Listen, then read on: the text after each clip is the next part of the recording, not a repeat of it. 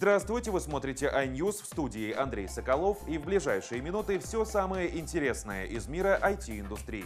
Меньше месяца осталось до презентации нового флагмана компании Samsung Galaxy S6. И чем ближе премьера, тем больше утечек о новом устройстве появляется в сети. На сей раз появились изображения, которые демонстрируют корпус Galaxy S6. И, по всей видимости, облик устройства сильно будет напоминать iPhone 6 от Apple. Фотографии были опубликованы в популярной в Китае социальной сети Weibo, а это аналог нашего Твиттера.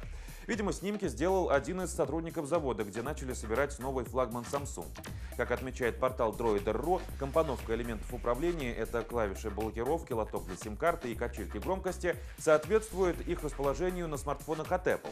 Кроме того, на корпусе устройства имеются похожие с iPhone 6 разъем для наушников, округлые грани и антенны для приема сигнала. Еще можно заметить прорезь для камеры со вспышкой. Она, как и прежде в смартфонах Samsung, расположится по центру задней части устройства.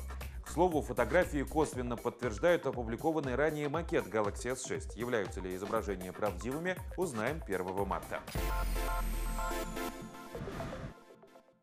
Роскомнадзор опубликовал результаты исследования качества услуг мобильной связи, которые предоставляются тремя крупнейшими операторами – МТС, Мегафон и Вимпелком.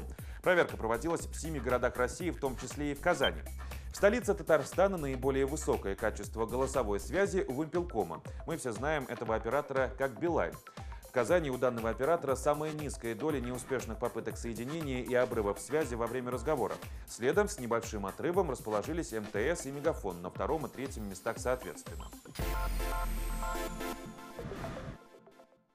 В завершении об интересном стартап-проекте. Настоящий прибор ночного видения для смартфонов представили разработчики из Англии.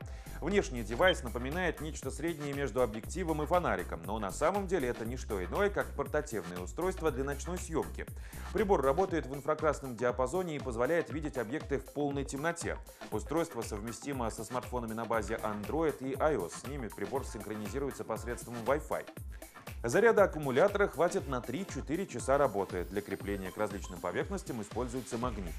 Сейчас разработчики уже собрали необходимые на производство деньги и планируют начать его в ближайшее время. Сообщается, что стоимость одного такого прибора составит 179 долларов. На этом все. Смотрите iNews и оставайтесь в курсе самых интересных событий из мира IT-индустрии. Также присоединяйтесь к нашей группе в социальной сети ВКонтакте. Адрес сообщества сейчас на ваших экранах. В студии был Андрей Соколов. Всего доброго, до встречи.